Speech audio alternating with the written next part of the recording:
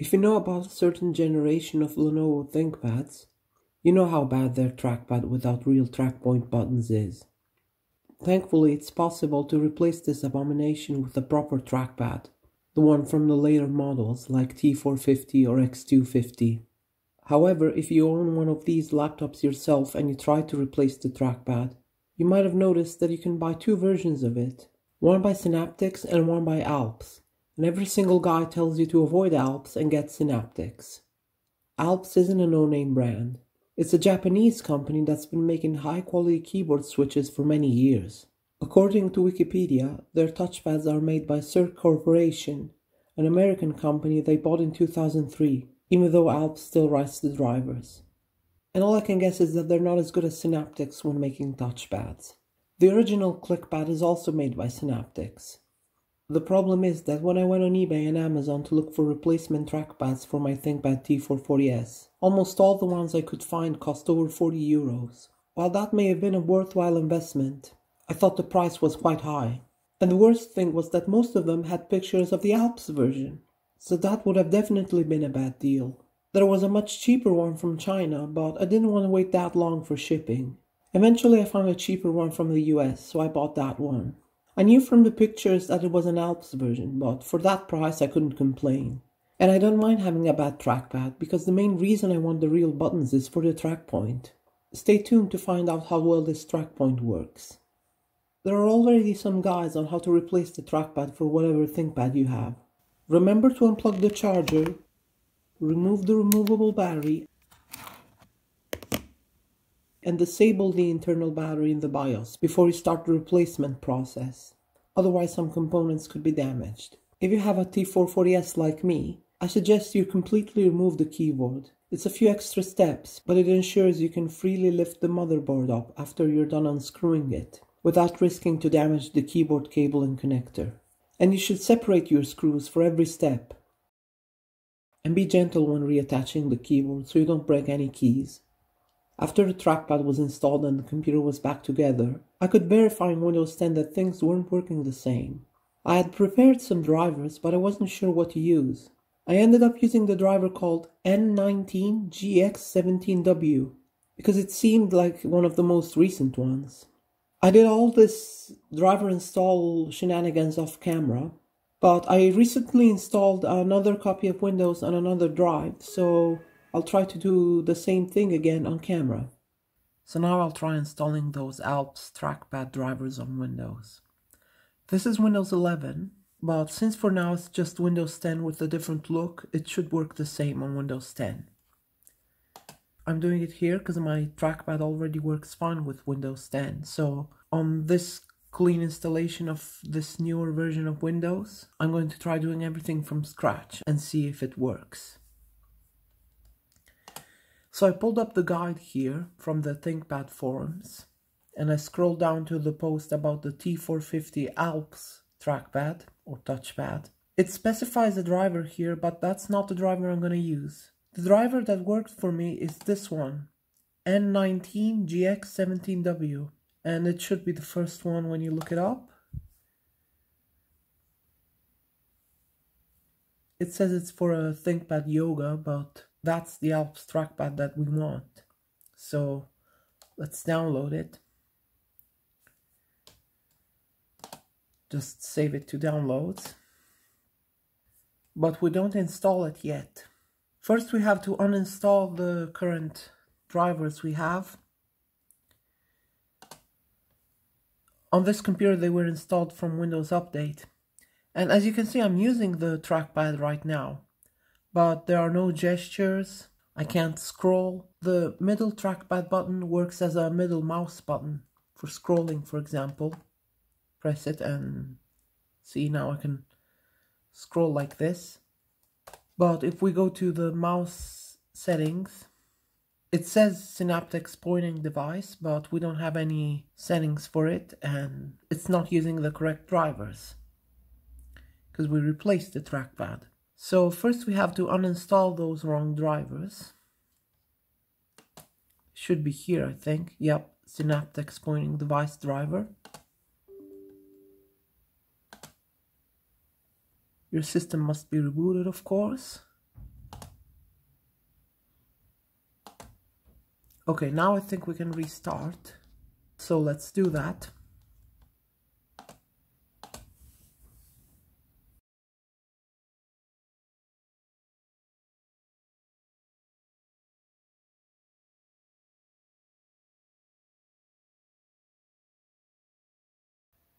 Okay, now we're back. The trackpad is still working for now, so is the track point, even though it's really slow. So let's try going back to the um, page and keep following the instructions. Yes, restore pages, please. So now we have to extract the drivers and modify some files. So let's run this program. Windows Update is probably now going to get in the way and try to install the Synaptics driver again, but we'll try to stop it. For now, let's just move on with this, but do not install now. Because even if we replace the trackpad, it's still recognized as the original one, so it's not easy to tell it that the device plugged in is different. So here it says VI64, probably stands for Vista, but do we do that or do we do the one for Windows 7? Because obviously Windows 7 is closer to 10.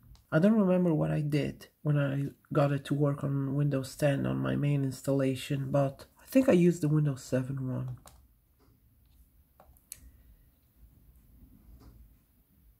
And edit apfilter.inf.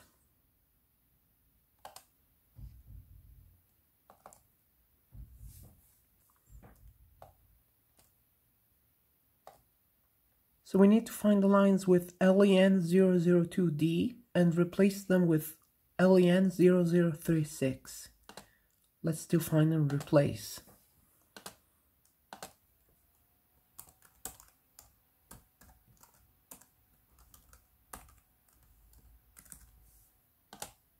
Okay, this is probably good enough. I don't see the changes, but I, I don't have anything better than Notepad installed here. So let's save it.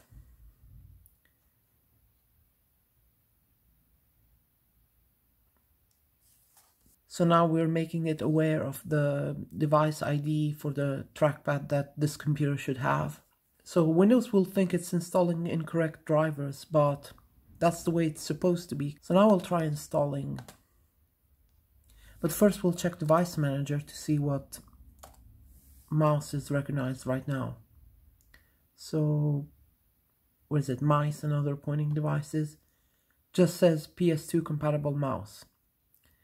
So let's see if the Alps drivers can install now. And says can't match a correct device. How about changing the same thing in the Vista folder as well? So open this. And I forgot the device ID, so I have to look at it again. Oh, it was already there in the notepad anyway.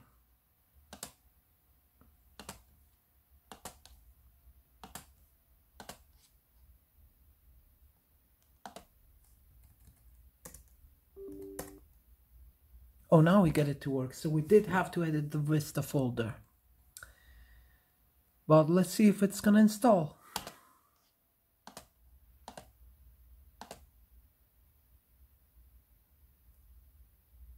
Device updated. Restart again.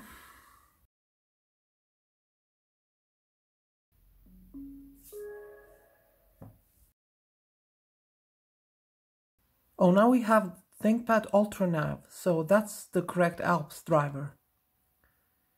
Manufacturer Alps Alpine.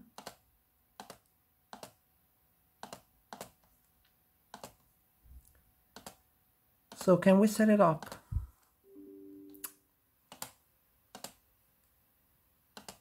Go to control panel and touchpad. Yes, that's the correct app. Okay, those are the correct settings.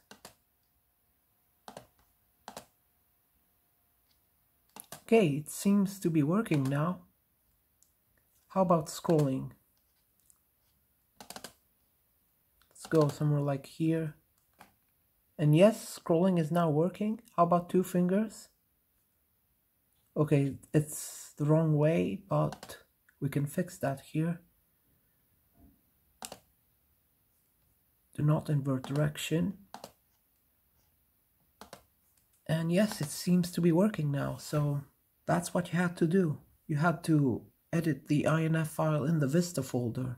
Maybe also in the Windows 7 folder as well, but not just the Windows 7 folder.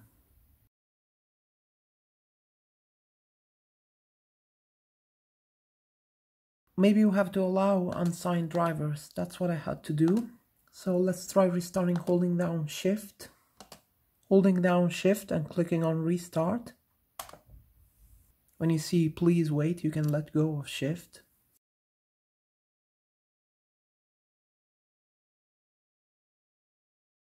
Okay, so troubleshoot maybe, advanced options, startup settings, and yup, that's what we want. And we want to disable the driver signature enforcement.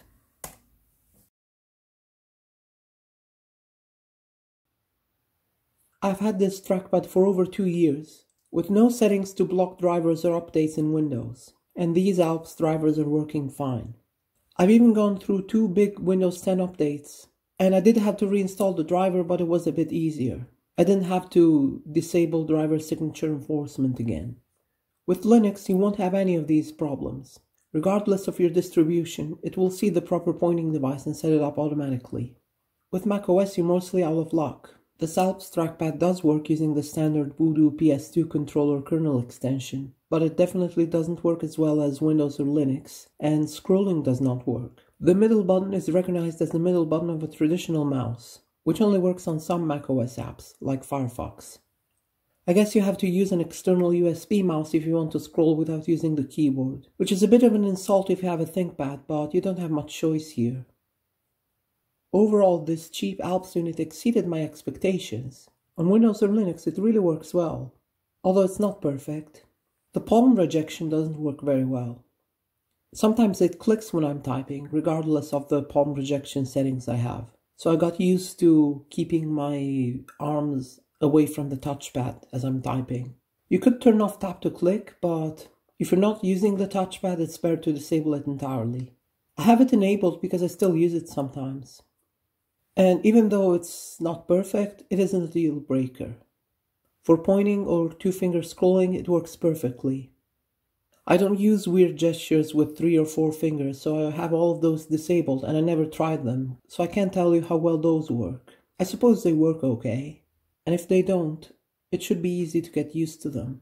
But of course, if you have a ThinkPad, the touchpad is going to be a secondary device.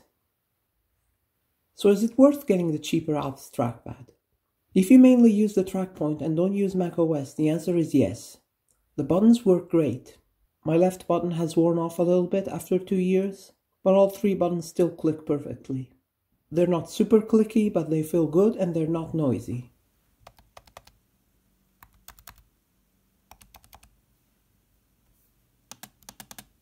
If you can find a Synaptics trackpad with real buttons without paying twice the price, I'm sure it's a better choice. But the Alps one is not evil and you don't have to avoid it at all costs. The replacement procedure is identical, fiddling with the drivers and windows is just as hard, the track point buttons work perfectly, and the touchpad is usable. Not as good as the original T441, but it's totally usable. So that's it. If you have any feedback, comments are welcome. Thank you for watching.